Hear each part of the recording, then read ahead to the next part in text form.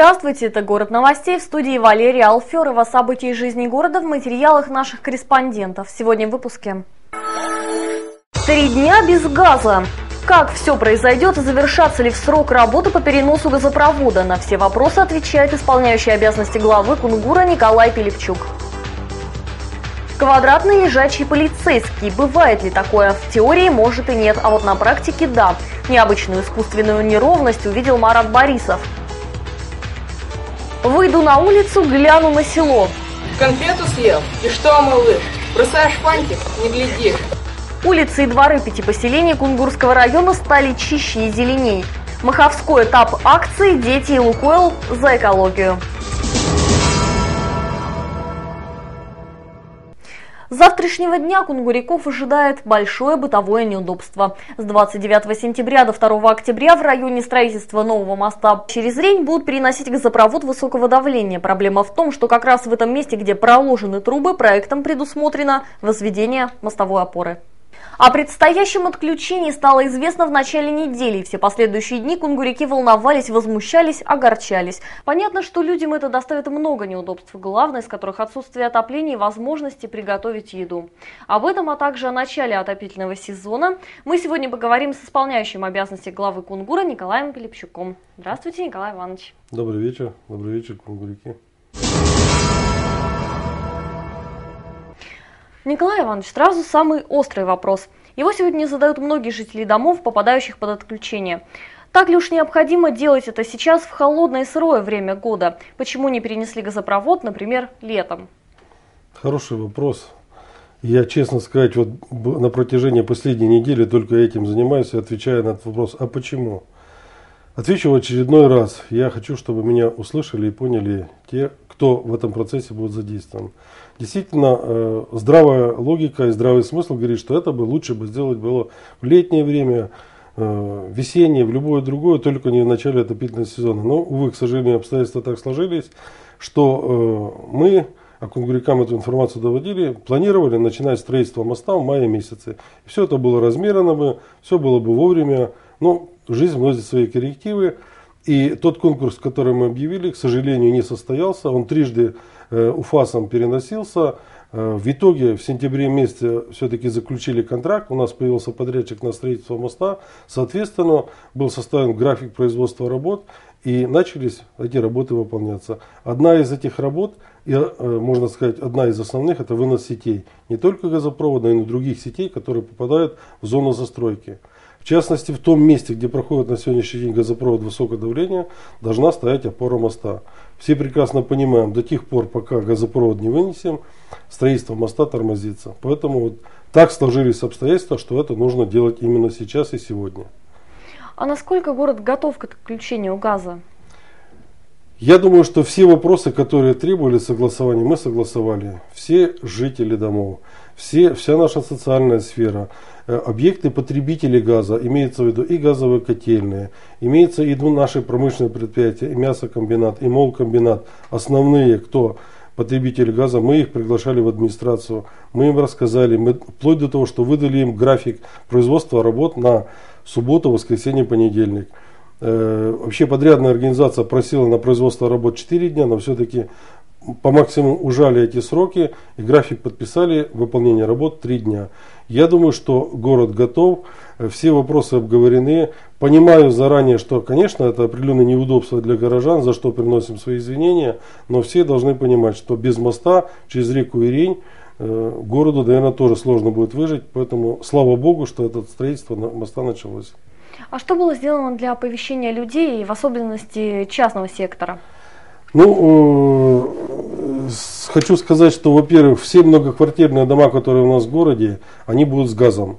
То есть э, э, отработанная технология, методология, газ будет привозиться в автоцистернах, будет заполняться система, и все наши многоэтажные дома будут с газом.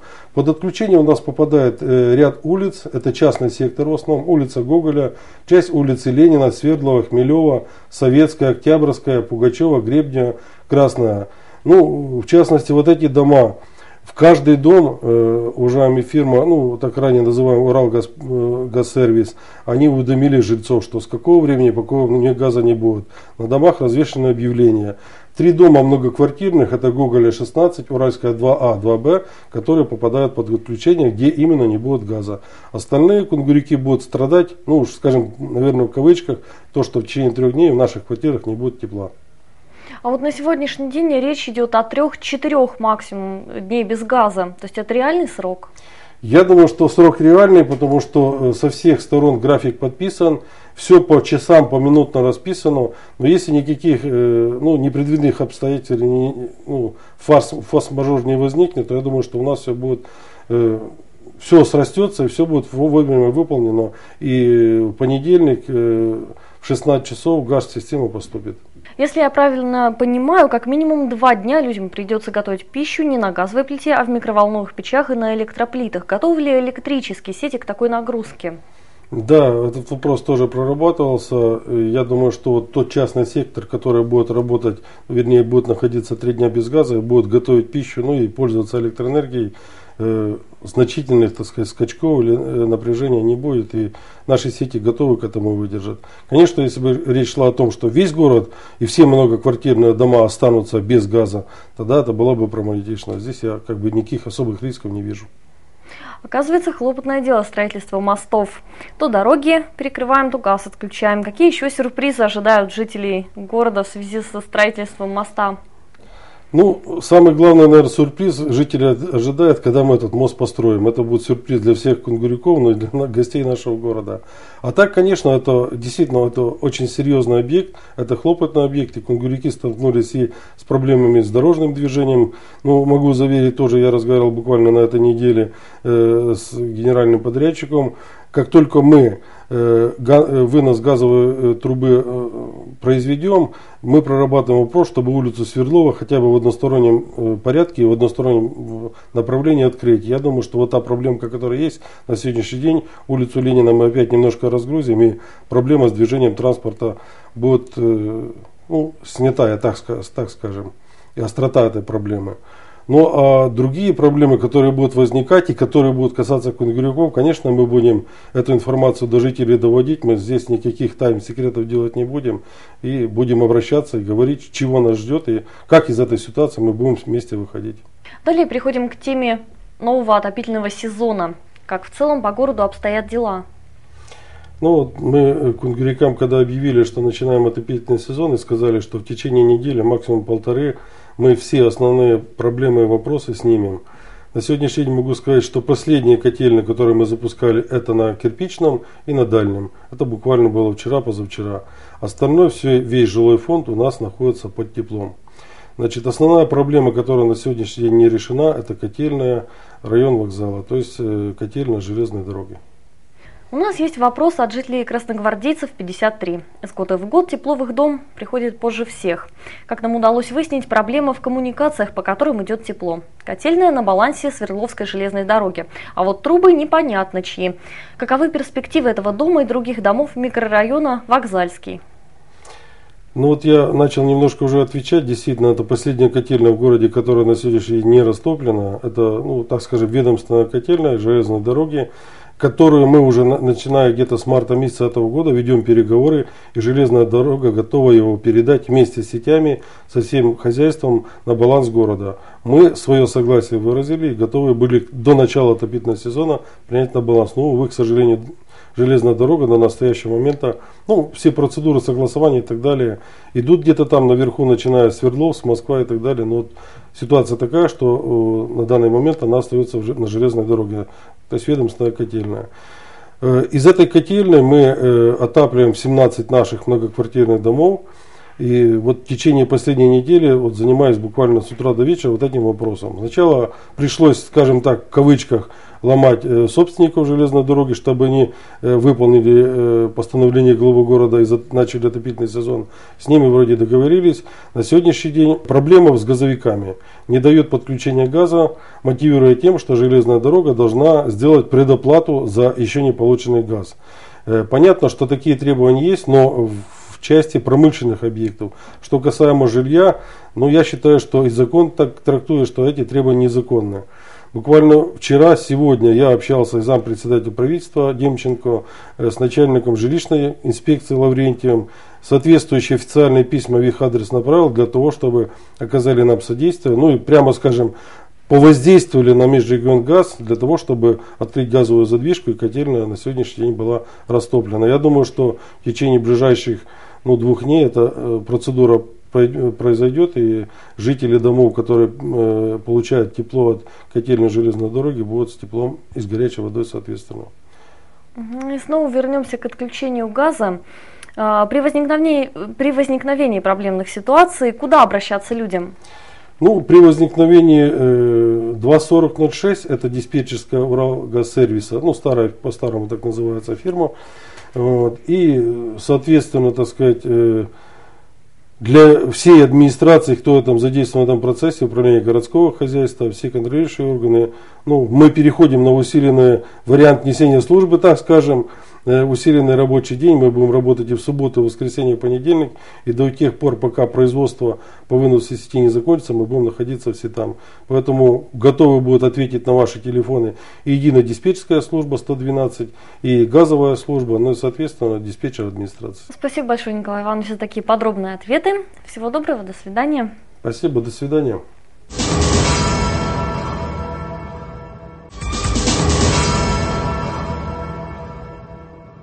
Вы смотрите «Город новостей». Стандартный лежачий полицейский округлой формы, но есть исключения. Об одном из них в рубрике «Мелочи жизни». Генеральный спонсор рубрики «Мелочи жизни» – компания «Домстрой», профессионал на рынке металлопластиковых окон. Опаснейшее место мы нашли на улице Гребнева. Дело в том, что в этом месте поворот, из-за чего эта яма становится еще опаснее. Если автомобиль занесет, авария произойдет. Зима не за горами. И если эту мелочь сейчас не заделать, то в скором будущем дыра станет еще больше. Тема вывоза мусора в последнее время довольно остро обсуждается в городе. Очередное заваленное место мы нашли напротив общежития по улице Полетаевская, 2. Беспорядок полный. Беспорядок это мягко сказано. Я считаю, что это беспредел. Ведь очень хорошо видно мелочь, что не вывозили давно. Сейчас вы видите не так давно отремонтированную дорогу по улице Карьерной в микрорайоне Кадочникова. И поговорить я хочу вот об этой искусственной неровности. С этой стороны вроде бы все нормально, идет подъем. А вот с другой стороны прямой угол. Конечно, можно подвеску здесь оставить. Осторожно приходится объезжать. Объясню, чем еще опасен этот бетонный пасынок. Дело в том, что водители объезжают это место. Объезжают там, где стоит детская качель. А вот теперь представьте, качается ребенок, в это время едет машина. Может и мелочь, но она может привести к трагедии. Рекламный партнер рубрики «Мелочи жизни» – индивидуальный предприниматель глухих. Территория профессионалов реализует песчано-гравийные смеси. Дети и Лукойл за экологию. Так называется совместный проект нефтяников и агентства занятости населения Пермского края. Озеленять и очищать родные дворы и улицы этим летом довелось пяти сельским поселениям Кунгурского района. Как с этой задачей справились маховские школьники и чем они удивили организаторов акции в материале Татьяны Андреевой. Конфету съел? И что, малыш? Бросаешь фантик? Не глядишь. Бутыл... Пуста бутылка. Все испил. А унести не стало сил. Девятиклассник Алексей Харченко – борец за чистоту в родном поселке. В отличие от своих ровесников, которые любят гулять и развлекаться, он, узнав о проведении акции «Дети Лукойл за экологию», сразу же пришел в Центр занятости, чтобы устроиться на работу и помочь спасти родное маховое от залежей бытового мусора. Не интересует меня как бы гуляние. Больше меня интересует природа, работа для себя, для себя и для других, для села. Начиная с мая, агитбригада, в которой активно проявил себя Алексей, работала хорошо и плодотворно. Очистили большую, большую территорию. Множество Маля. парков стали чистыми. Ну и не только парков. Другие места были очищены. Старшеклассники занимаются сбором мусора во всем поселке, а вот школьники помладше занимаются преображением пришкольных участков. Сегодня перед ними поставили непростую задачу – собрать рассаду бархатцев, чтобы на будущий год на грядке красовались эти яркие цветы. По соседству две шестиклассницы занимаются исследовательской работой. Подробно изучая культурные растения, девочки проводят опыты над цветком львиный зев. Исследования удивили даже учителя биологии. Один из опытов – это опыт с львиным зевом. То есть делянки с опытными образцами, когда растения зацвели, полностью львиный зев был срезан. А сейчас мы видим, что растения вновь зацвели повторно. То есть это уже результат, что можно использовать в букеты два раза одно и то же растение в течение лета. Ольга Русинова и Анна Крыло, помимо исследования растений, занимаются и выращиванием овощных культур, что помогает их школе. Здесь у нас грядки с укропом, которые мы выращиваем для столовой. Э, в столовый укроп добавляют в пищу. Еще мы выращиваем овощные культуры, как свеклу, морковку, капусту, которую тоже продаем еще на ярмарке и сдаем в столовую. Сами школьники и их руководители уверены, что акция нефтяников «Дети и Лукойл за экологию» помогла им не только по-новому смотреть на мир, но и изменить улицы и дворы села. Акция оказалась удачная, замечательная. Было очищено много парков, было благоустроено а, территории сельских поселений, построены какие-то а, новые зоны отдыха. С помощью юным экологам компания «Лукойл Пермь» выделила гранты, на средства которых трудовые отряды приобрели необходимый для садовых работ инструмент. Поселение приобрело на эти денежные средства инвентарь, а, саженцы и все, в общем, для того, чтобы благоустроить. То есть это были и урны, самое главное, у нас в поселениях на самом деле очень мало где можно встретить урны. Теперь вот появились урны, эти же самые песочницы, в которых дети играют. Ну и по мелочи, то есть это мусорные пакеты, перчатки. Помимо Махабова, во время акции преобразились еще четыре населенных пункта. Насадка, Мазунина, Комсомольский и Жилина. Более 500 школьников от начальных до старших классов единодушно вышли на борьбу за чистоту. Немаловажно и то, что ребята были официально трудоустроены. Школьники в возрасте от 14 до 18 лет получили за свой труд зарплату. Алексей свою первую получку решил потратить на себя. За работу мне заплатили 1300 рублей. И на эти деньги я кроссовки себе купил. Поработав на благо родного села, ребята призвали всех односельчан беречь чистоту. Чтоб люди собирали мусор, чтоб не загрязняли землю.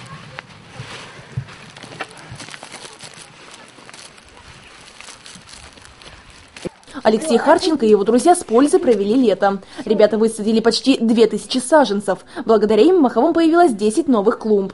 Озеленяя и очищая дворы и улицы, юные жители Прикамья были заняты полезным трудом, заработали свои первые деньги, а также познали красоту природы и научились ее беречь. Татьяна Андреева, Алексей Долгоруков, Галина Крикливцева, телекомпания «Кунгур». Впереди выходные, время отдыха, поездок и открытий. Сейчас в нашей программе еще один выпуск рубрики «Путешествия Миши и Маши».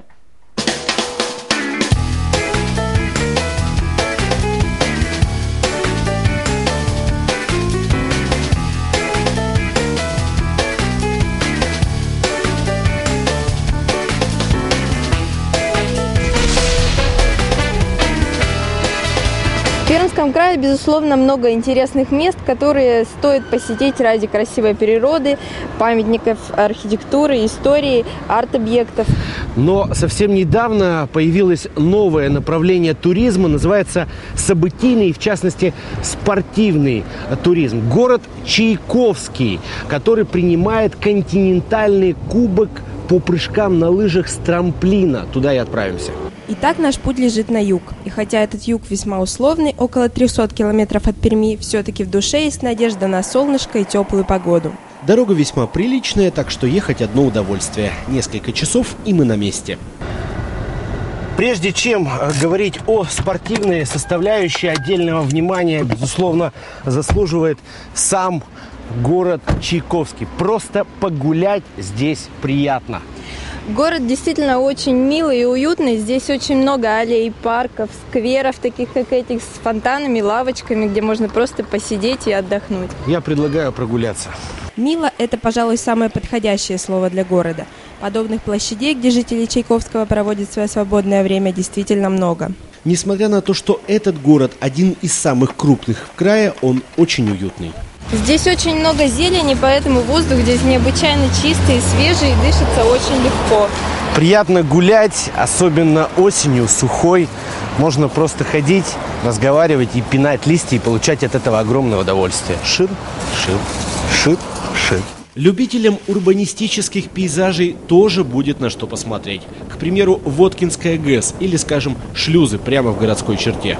В нескольких стах метрах от Воткинской ГЭС находится граница Пермского края и Удмуртской республики. В принципе, пересечь границу можно и пешком.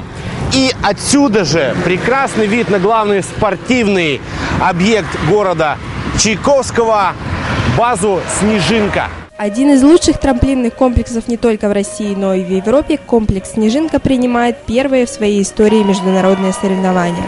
Всем коллективам трехтысячным встречать российского спортсмена в воздухе Дмитрий Ипатов, Россия! 51 спортсмен, 10 стран, включая Австрию, Германию, Польшу, Словению и, конечно, Россию. Такова география соревнований. В числе лидеров победитель Олимпийских игр в Ванкувере Вольфган Лёйцель. Глядя на летающих лыжников, просто захватывает дух. Только представьте, спортсмен разгоняется до 90-95 км в час за 3 секунды и пролетает порядка 120, а то и более метров. Посмотреть на лучших летающих лыжников съехались несколько тысяч поклонников этого вида спорта. Причем были замечены не только россияне, но и шведы, американцы, немцы. Одним словом, события международного масштаба. Стадион оснащен по последнему слову техники. В трамплине установлены специальные датчики. Естественно, э, есть э, подъемники и даже видеокамеры. Так что зритель, находящийся в любой точке спорткомплекса, может видеть то, что происходит на главном трамплине. Техника техникой, но у комплекса должна быть и своя душа. На церемонии открытия гостям соревнований презентовали символ снежинки. Вот этот рысенок по имени Рысик э, талисман и символ э, спортивного комплекса «Снежинка». Говорят, если потрогать его за ручку, то будет тебе счастье. А если удастся ухватить за хвост, то это равносильно тому, чтобы поймать за хвост удачу. На мой взгляд, и сам комплекс и уровень проведения соревнований ничем не отличается от Европы. Так что у нас появилась четкая уверенность, что поток туристов, в том числе и из-за рубежа, будет неуклонно расти. Сейчас, можно сказать уверенно, за Чайковским плотно закрепился статус спортивной столицы Пермского э, края. Совсем скоро здесь пройдут соревнования всероссийского и международного уровня. Любите спорт и занимайтесь спортом. Ну а наше путешествие продолжится ровно через неделю. До встречи!